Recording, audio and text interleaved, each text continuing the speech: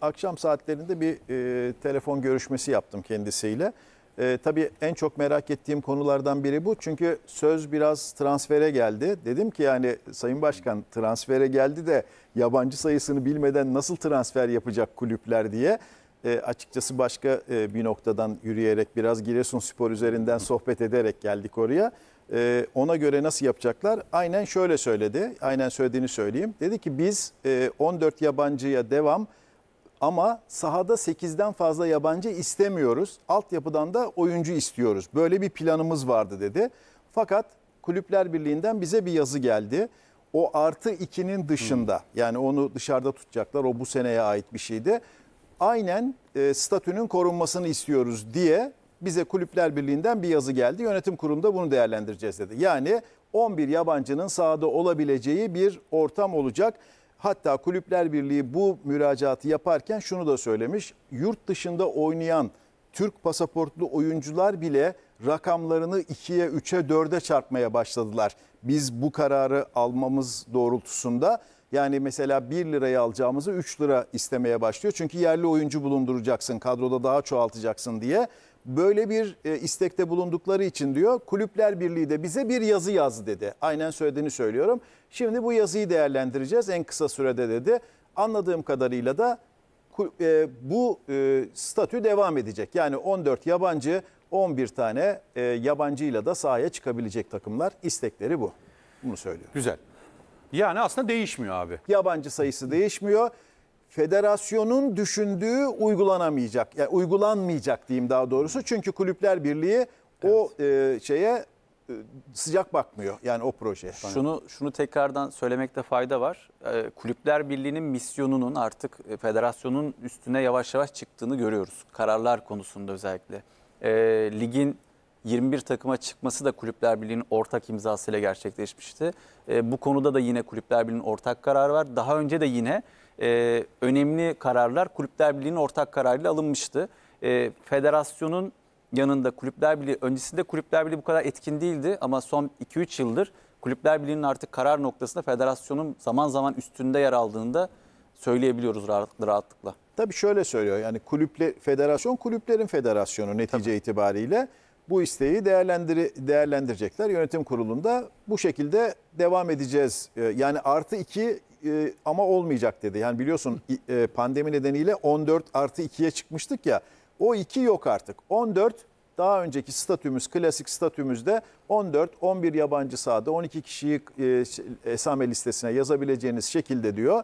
Sistem devam etmesini istedi Kulüpler Birliği. Biz de Kulüpler Birliği'nin isteği doğrultusunda en kısa sürede herhalde bir iki gün içerisinde yönetim kurulu kararı Antalya'da olabilir abi toplantı. Olabilir. Olabilir. Yani kararı vereceğiz dedi. Ama anladığım, hissettiğim şu. Devam. Yani devam edecek. Çünkü neden söylüyorum? Bir de e, yanına bir argüman da koydu Nihat Başkan. Dedi ki yani yurt dışından Türk oyuncu, pasaportlu oyuncu almaya çalışıyorlar takımlarımız. Ama rakamlar inanılmaz noktalara gelmiş. Bunu da bize ilettiler diyor ve altyapıdan da bu düzeyde oyuncu e, çıkartamıyoruz. Onun da sıkıntısı var. Belki birkaç e, dönem geçmesi lazım bunun için dedi. Bu konuda sen çok donanımlısın hocam ama evet. kısa rica edeceğim Fenerbahçe'ye süremiz kalsın. Ee, devam etme eğiliminde Biz şu an. Kurumsal yapıdan bahsediyoruz. Kurumsal yapıyı önce federasyona oturtmak lazım. Bakın transfer dönemi başlayacak neredeyse. Hala yabancı sayısını bilmiyoruz. Ya sonra da diyoruz ki bir teknik direktör daha sezon bitmeden yeni sezonun takım mühendisliğini bitirmiş olması lazım. Ben kaç yabancıyla oynayacağımı bilmeden bunu nasıl bitireyim? Futbol Federasyonu bunu netleştirmedi bile. O yüzden ben genelde yasaklara karşı bir tavır içindeyim. Türk futbolcuların bile bunu istedikleri gerçeği var. Federasyonun bunu göz önünde bulundurulması lazım. Apayrı bir şey söyleyeceğim. Üçüncü ligden bana gelen şikayetler. Hocam burada da yaş sınırı var. Evet. Belirli bir e, kontenjandan dolayı bazı daha fazla genç futbolcuları oynatmak istiyoruz. Ama o genç futbolcular kendilerine tanınan bu kontenjandan dolayı öyle bir havaya giriyorlar ki burunlarından kıl aldırmıyorlar. Ya o gençlerin oynamasını en çok ben istiyorum.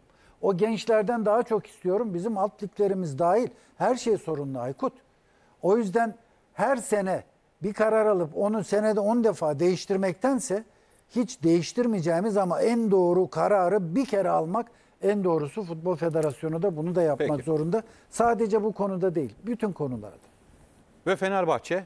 Haldun abi senle başlayayım. Taner müsaaden var. Estağfurullah. Haldun abi e, Fenerbahçe'de taraftarların merak ettiği soru tabii ki de teknik adam konusu. E, bu hafta içerisinde bir Ali Koç Emre Belezoğlu zirvesi olacağına dair muhabir arkadaşların haberlerini okuyoruz, yorumlarını dinliyoruz. Bu zirve nasıl bir zirve olur abi? Yani bir e, öz eleştirimi barındırır içinde. Bir eleştirimi barındırır içinde. Elbette hatalar masaya yatırılacaktır. Doğrular, yanlışlar. Ama filmin sonunda Ali Bey, hocam tamam biz devam ediyoruz seninle. Kadro zaten %70 korunuyor. Bu kadroyu sen inşa ettin. Küçük detaylarla üzerinde oynayarak e, kalan %30'luk dilimi de e, yapalım ve seneye biz devam edelim. Mi? Yoksa hocam biz bir dünya çapında bir hoca bulduk. Maliyeti bu. Takımı bu kişiye emanet ediyoruz. Raporunu yaz. İstersen kulübede o dünya çapındaki hocanın yanında ol. İstemezsen sportif direktör ol. Ne yapmak istersen yap mı? Evet. Bu da ikinci senaryo. Şimdi e, aslında başkanın e, basın toplantısında e, bu açıklamayı yapmayıp 1 Haziran'a bırakmasının sebeplerinden biri bence bu teknik direktör konusundaki henüz tavrın tam belirlenmemiş olması çok önemli. Şimdi önde 3 tane e, plan var. 3 plan var. Bu 3 planı şu anda e, Ali Koç yönetimi tartışıyor 3 planı. Birinci plan çok kariyerli bir teknik direktör, yanına Emre Belezoğlu. Çok kariyerli ama bu yani tartışması olacak biri değil. İkinci plan yabancı bir teknik direktör, Emre Belezoğlu sportif direktör devam. Üçüncü plan bir yerli teknik direktör. Yerli olacaksa zaten Emre Belezoğlu'ndan başka bir isim olmayacak. Yani masada üç tane plan var. Bu üç plan üzerinden e, bence Ali Koç e, etrafındaki akıl danıştığı, beraber yönetimde e, paylaşımda bulunduğu kişilerle bunun e, masaya yatırıp en doğru çözümü üretme çabası içerisinde benim görebildiğim kadarıyla. A bunlardan hangisi olacak? A mı B mi C mi onu net olarak söylemem mümkün değil. Çünkü şu anda Ali Koç da bu konuda kararsız. Ha isimler geliyor bir takım isimler yani mesela bir senaryo var. Ee, tabii o senaryo çok farklı bir senaryo. Ee, biliyorsun Erdinç Sözer geldi.